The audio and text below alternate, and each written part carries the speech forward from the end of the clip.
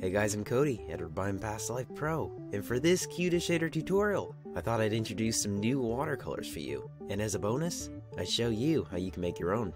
Kinda similar to what I did in my SEUS tutorial. And yes, in the latest public Kuda Shader, this one being the Kuda V6.0.73 Beta Ultra. Okay, let's begin.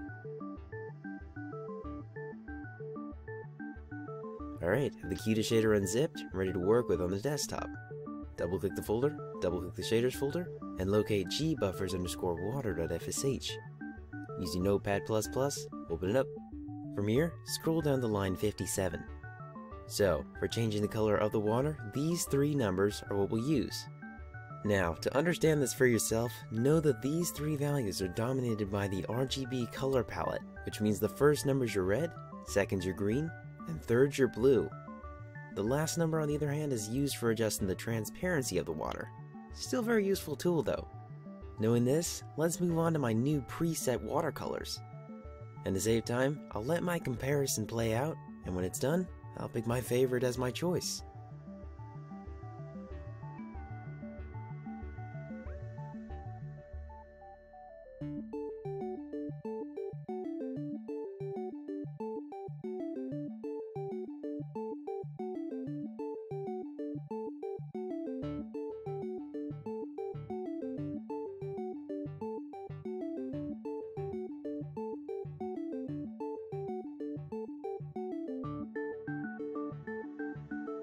Without a doubt, the third one is definitely the one for me, so I'd replace these current numbers with 0.5, 0.6, 0.6, and 0.4 for the transparency.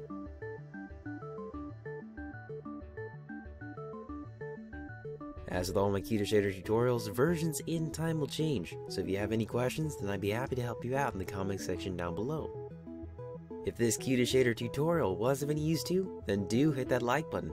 And before you go, don't forget to check out my channel for some more Minecraft tutorials, some pro quality cinematics, and a bunch of other videos that you shouldn't miss. Anyways, I'm Cody, and this is Past Life Pro, where creativity is always a part of my life, as it will be for yours. Alright, see you guys.